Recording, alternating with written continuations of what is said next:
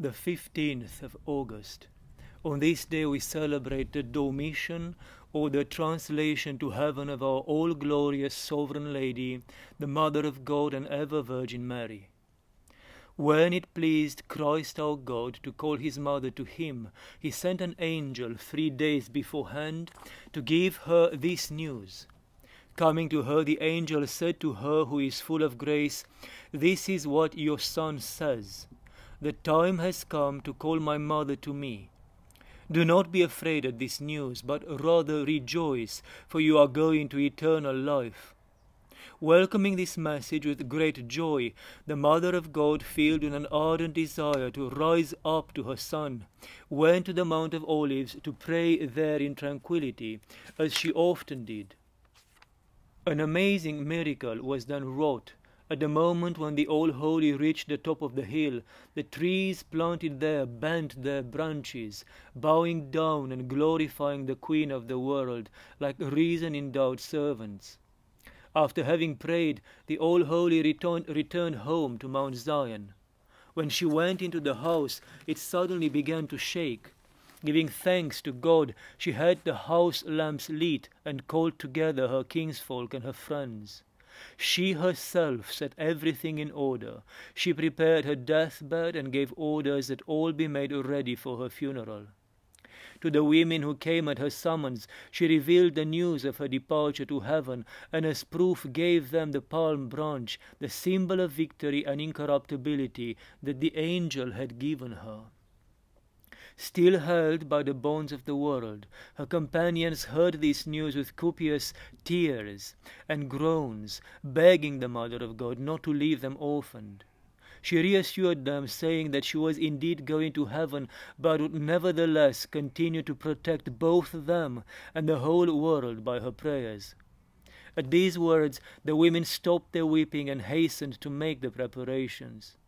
The All Holy also told them to give the only two robes that she possessed to two poor widows who were her constant companions and friends. She had scarcely spoken these words when the house was shaken once again by a noise like thunder, and it was filled with clouds bearing the apostles assembled from the furthest parts of the world. It was thus that the whole church in their persons was mystically present to celebrate the funeral of its sovereign lady.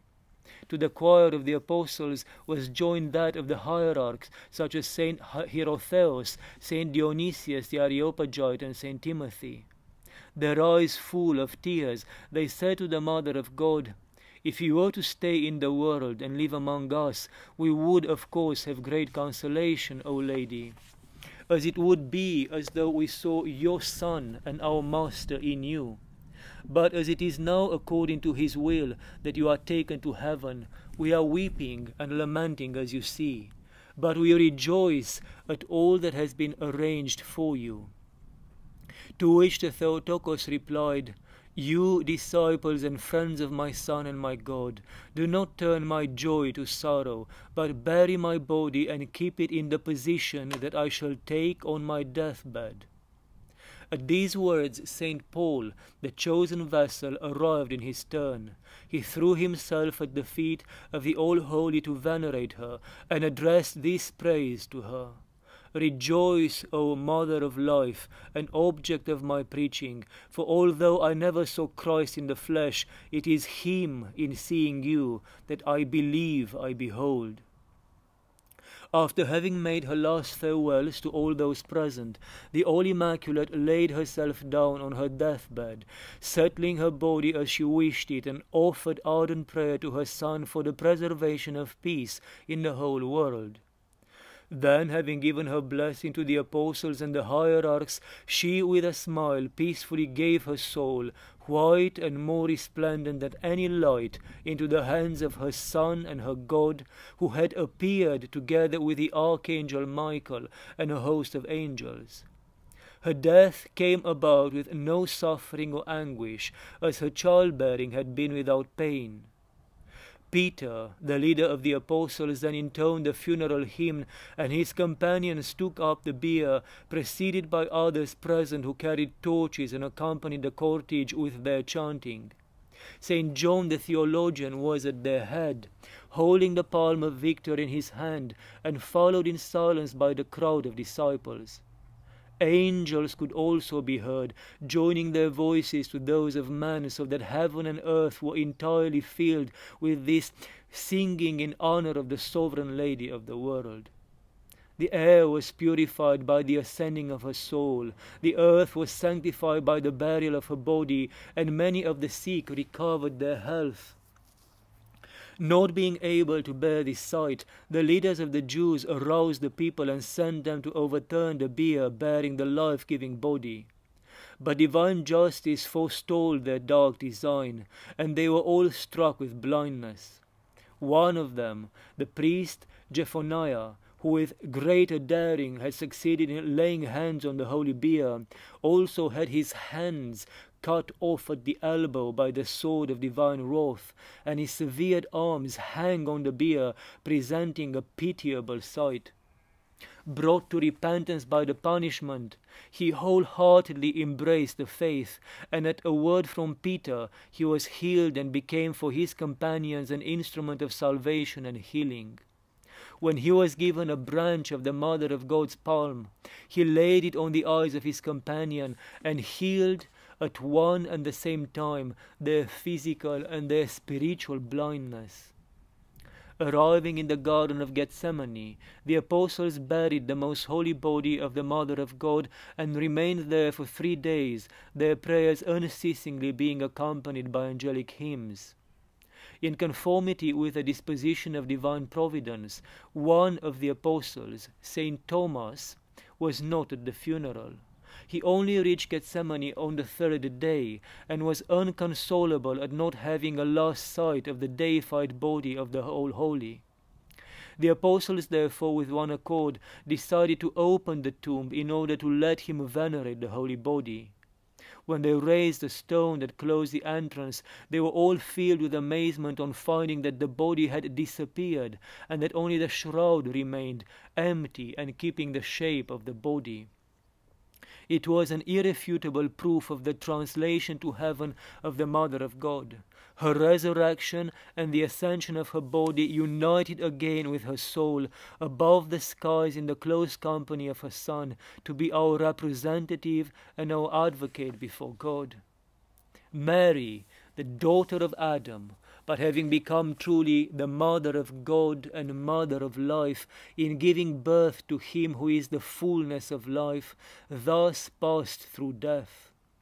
But her death was no dishonor, for overcome by Christ, who submitted to it by his own will for our salvation, the condemnation of Adam became a life giving death and the principle of a new existence and the tomb of Gethsemane, as well as the Holy Sepulchre, appeared as a nuptial chamber where the wedding feast of incorruptibility is solemnized. It was fitting, indeed, that conforming in all things to Christ our Saviour, the most holy Virgin should follow all the paths trodden by Christ to spread sanctification throughout our nature after having followed him in his passion and having seen his resurrection, she now had the experience of death. As soon as she was parted from the body, her most pure soul found itself united with divine light, and her body, having lain a short time in the earth, was soon raised by the grace of the risen Christ. This spiritual body was received into heaven as the tabernacle of God became man, as the throne of God. It is the most significant part of the body of Christ, and had often been likened by the Holy Fathers as the Church itself, the dwelling place of God among men, the first fruits of our future state, and the source of our divinization through the womb of Mary most chaste, the Mother of God, the kingdom of heaven has been opened to us, and this is why her translation to heaven is a cause of joy for all believers, having thus acquired a guarantee that in her person it is the whole of human nature, having become a Christ bearer, that is called to abide in Christ our God.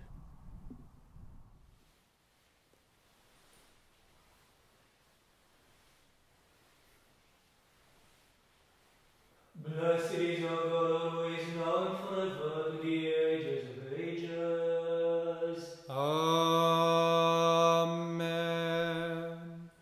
Glory to thee, our God, glory to thee, O heavenly King, the Comforter, the Spirit of truth, who art in all places and fillest all things, treasury of good things and giver of life. Come and dwell in us and cleanse us from every impurity and save our souls, O good one. Holy God, holy mighty, holy immortal, have mercy on us. Holy God, holy mighty, holy immortal, have mercy on us. Holy God, holy mighty, holy immortal, have mercy on us. Glory to the Father, and to the Son, and to the Holy Spirit, both now and ever, and unto the ages of ages. Amen. O Holy Trinity, have mercy on us. Lord, be gracious unto our sins. Master, pardon our iniquities. Holy One, visit and heal our infirmities to thy name's sake. Lord, have mercy, Lord, have mercy, Lord, have mercy. Glory to the Father, and to the Son, and to the Holy Spirit, now and ever, and unto the ages of ages. Amen. Our Father, who art in heaven, hallowed be thy name. Thy kingdom come, thy will be done, on earth as it is in heaven. Give us this day our daily bread and forgive us our trespasses, as we forgive those who trespass against us. And lead us not into temptation, but deliver us from the evil one. Yours is the kingdom, the power, and the glory, Father, Son, and Holy Spirit, now and forever, to the ages of ages. Amen.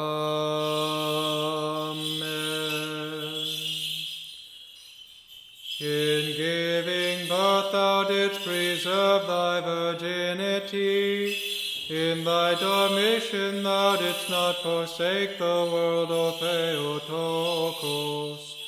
Thou wast translated unto life, since thou art the mother of life. And by thine intercessions dost thou redeem our souls from death.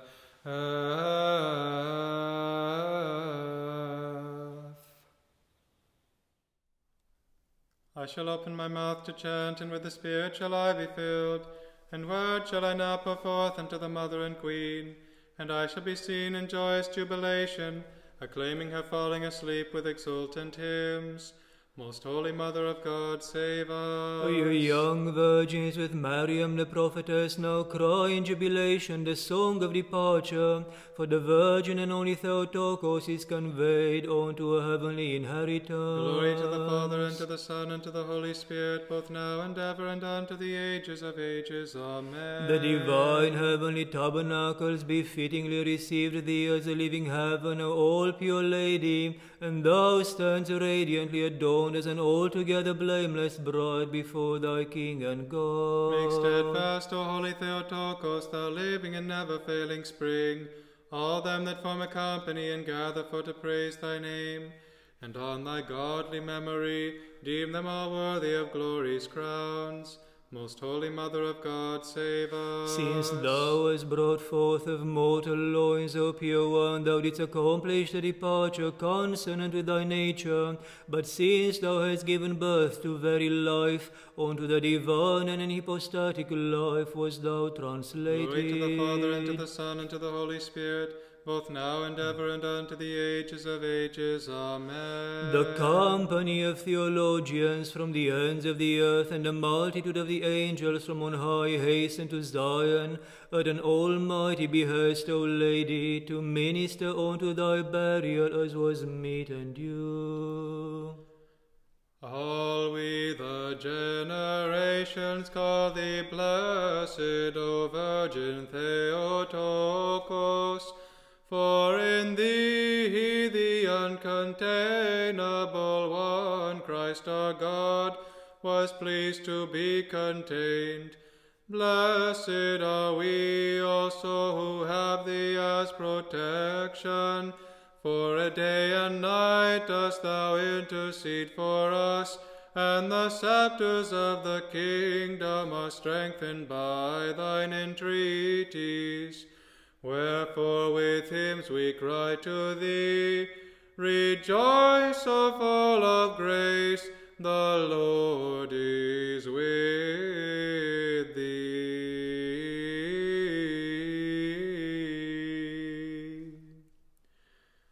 When the prophet Habakkuk, O thou most high, learnt of the divine and untraceable counsel of thy pure incarnation from the womb of the blessed Virgin, he cried out, Glory to thy power, O Lord my God. Most Holy Mother of God, save us. It was amazing to see the living heaven of the King of all descending into the hollows of the earth. How wondrous are thy works! Glory to thy power, O Lord. Glory to the Father, and to the Son, and to the Holy Spirit. At thy translation, O Mother of God, the armies of the angels in fear and joy covered thy most spacious and gold-containing body with their sacred wings. Both now and ever and unto the ages of ages. Amen. If her incomprehensible fruit, by reason of whom she became a heaven, willingly underwent burial as a mortal, how shall she who virginally conceived him refuse burial? All creatures were sore amazed at thy divine and great glory made. O pure Virgin who hast not known wedlock, for thou wast translated from earth to the eternal abodes, and to a life that never ends, and doth grant salvation unto all them that acclaim thy name. Most Holy Mother of God, save us. Let the trumpets of the theologians ring today, and let the many voiced tongue of men now cry praises. Let the air resound, shining with infinite light. Let the angels hymn the Dormition of the Virgin. Glory to the Father, and to the Son, and to the Holy Spirit, both now and ever, and unto the ages of ages. Amen. The vessel of election distinguished himself in hymns to thee, O Virgin, and all him Theotokos, holy in ecstasy beside himself, wholly consecrated to God, and he both verily was, and was shown unto all to be inspired of God. On this divine and most honored feast of God's our Holy Mother, let all of godly mind now celebrate. Come, let us faithful now clap our hands and send up glory unto the God whom she has borne. Most Holy Mother of God, save us. From thee did life spring forth without breaking the bars of virginity. How then did thine immaculate and life originating tabernacle have experience of death? Glory to the Father, and to the Son, and to the Holy Spirit, both now and ever, and unto the ages of ages. Amen. Since thou becamest the temple of life, thou hast attained unto eternal life. Thou who gavest birth unto the enhypostatic life, are passed through death unto life. The grave and death could not hold the Theotokos, who is unsleeping in her intercessions, and an unfailing hope in her mediations. For as the mother of life, she was translated to life by him who dwelt in her ever virgin womb. Set a rampart about my mind, O Saviour, for I undertake to praise the rampart of the world, even thine immaculate mother. Make me strong in a tower of words, and fortify me in the strongholds of my thoughts. For thou dost cry out that thou wilt fulfill the askings of them that ask in faith.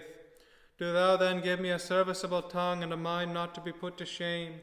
For every gift of illumination is sent down from thee, O Enlightener, who dweltest in her ever virgin womb who dweltest in her ever virgin womb.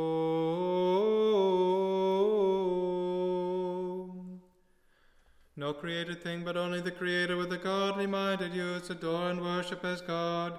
But manfully trampling down threats of fire, they cried out, O supremely praised and all acclaimed one, blessed art thou, thou Lord God of our fathers. Most Holy Mother of God, save us. You young men and virgins, you elders and princes, you kings and judges, while reverencing the memory of the Virgin and Mother of God, sing you, O Lord and God of our fathers, blessed are thou. Glory to the Father, and to the Son, and to the Holy Spirit. Let the mountains of heaven resound with the trumpet of the Spirit. Let the hills now be exceedingly glad, and let the divine apostles leap for joy.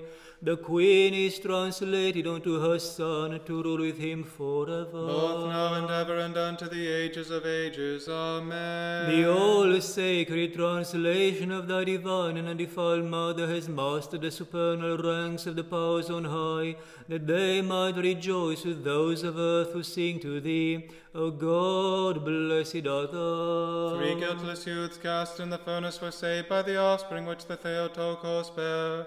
Then in figure and in type, now in very truth indeed. And he has gathered all the world which cries out in chant.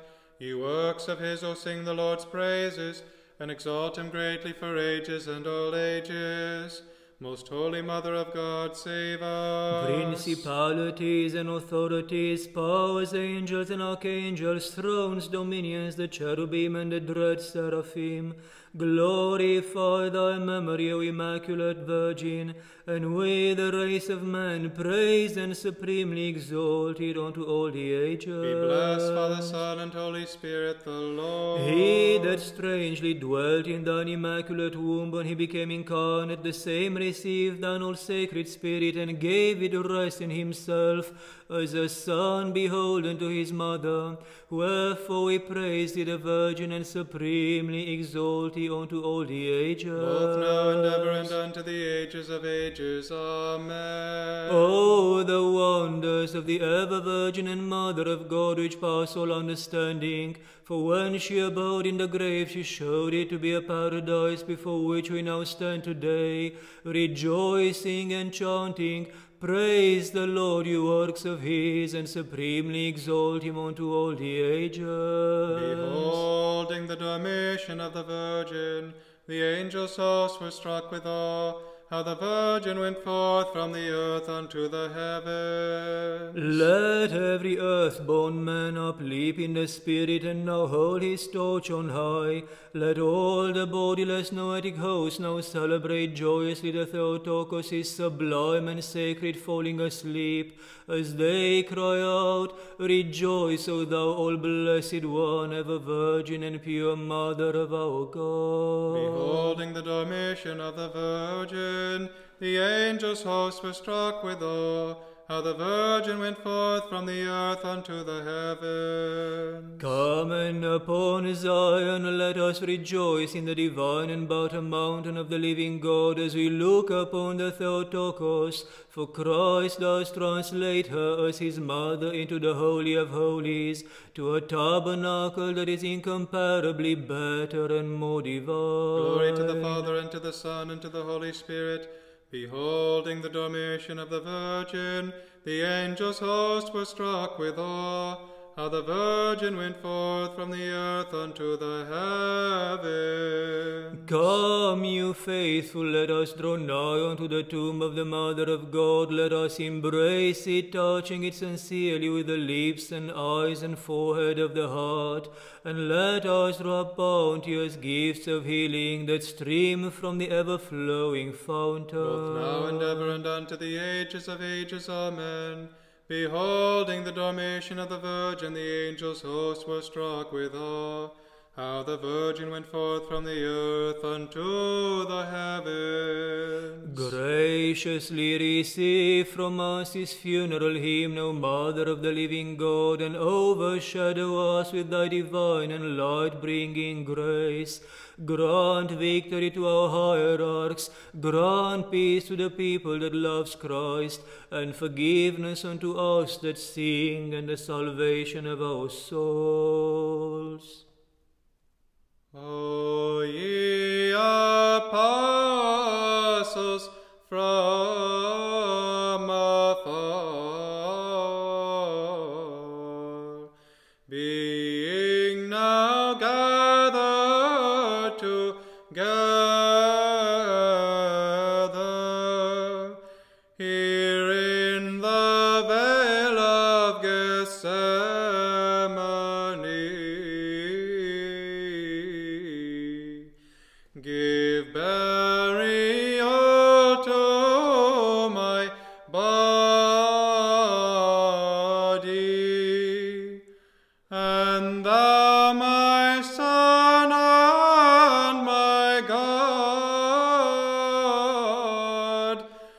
receive thou my spirit.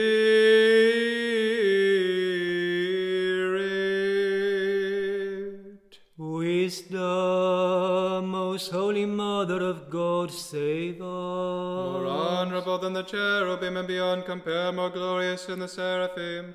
Thee who without corruption gavest birth to God the Word, the very Theotokos, thee do we magnify. Glory to you, Christ God, our hope. Glory to you. Glory to the Father, and to the Son, and to the Holy Spirit, both now and ever, and unto the ages of ages. Amen. Lord of mercy, Lord of mercy, Lord of mercy. Holy Father, bless. May Christ, our true God, the praise of our supremely glorious Lady, the Theotokos and ever Virgin Mary, whose venerable Dormition and translation we celebrate this day. At the prayers of Saint John the Baptist of the holy and all praised apostles, with the power and under the protection of the holy life-giving cross and all the holy bodiless powers of heaven. At the prayers of our fathers among the saints Ninian and Cuthbert, the bishops of God, Sisoes the great of Egypt, Brendan the navigator, Oran of Iona, Columba of Iona, Kenneth, Ronan, Moluag, all the saints of all these islands, our protectors and our benefactors. With the prayers of the holy martyr Tarcisius, the youth of Rome, with the prayers of the holy new hieromartyr Christos of Ioannina, the priest monk, with the prayers of the holy new hieromartyrs Alexis Stavrovsky, the archpriest of Petrograd, who was slain by the atheists in 1918, and Andrew, the priest of Bolshe Kasulskaya, who was slain in the year 1919 with the prayers of Saint MacArthur and those with them whose memory we also keep this day, with the prayers of the holy ancestors of God, Joachim and Dana, and of all the saints, have mercy on us and save us. For he is good and he loves mankind. Amen. For the prayers of our holy fathers, Lord Jesus Christ, our God, have mercy upon us and save us. Amen.